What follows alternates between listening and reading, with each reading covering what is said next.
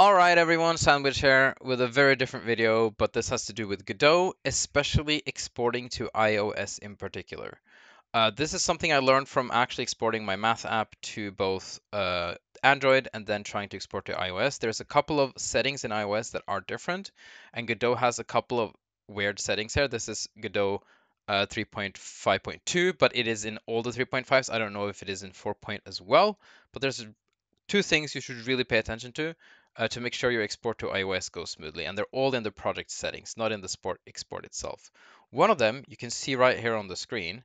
It is the orientation of your handheld. Now, you can have a portrait mode, you can have landscape mode, but if you want landscape mode on your app and you want it to work properly on iOS uh, 15 or below, you need sensor landscape.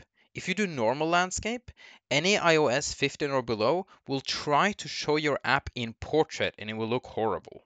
This is something I learned the hard way. So apparently sensor landscape is the way to go. Don't know exactly what the difference between sensor landscape and landscape is, but this is just better safe than sorry. All right, second tip.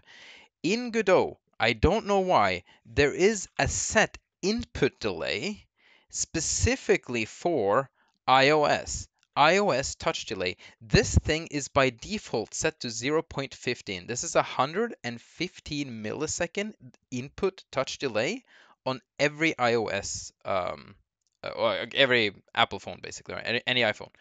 I, you you probably just want this set to zero. I don't know why uh, there is an input delay here specifically for iOS, but you should be aware that it exists and you should probably set it to zero. So that's it. Two simple tips. Uh, I'm Sandwich. Have a good one.